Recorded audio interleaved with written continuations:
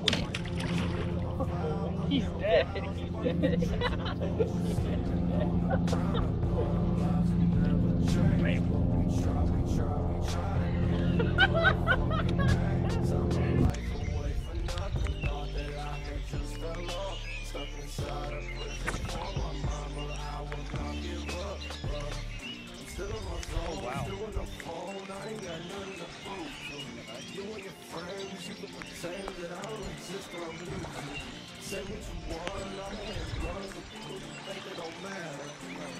is fun, fun you want, you just don't know what I'm